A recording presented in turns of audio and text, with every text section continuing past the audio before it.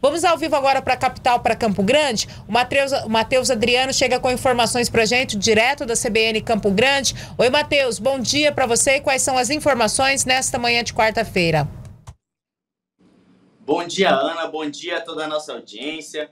Hoje aqui em Campo Grande vai acontecer o dia D da prevenção ao câncer bucal.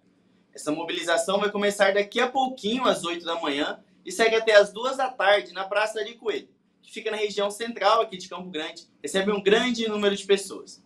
Lá serão realizadas triagens e avaliações de lesões suspeitas, além de orientações para a população.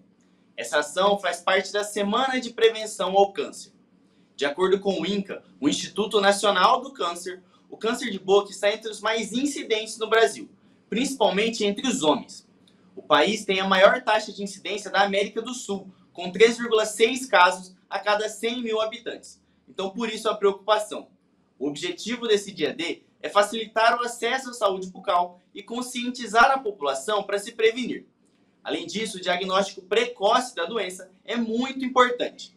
Os principais sintomas do câncer de boca são o aparecimento de feridas na boca que não apresentam dor e que não cicatrizam dentro de 15 dias, além de manchas esbranquiçadas ou avermelhadas na mucosa bucal ou lábios e dificuldades para falar ou para engolir.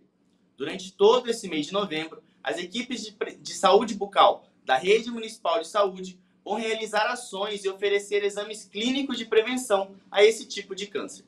Mas também é fundamental que as pessoas cuidem da saúde bucal e mantenham uma alimentação saudável para prevenir a doença. Ana?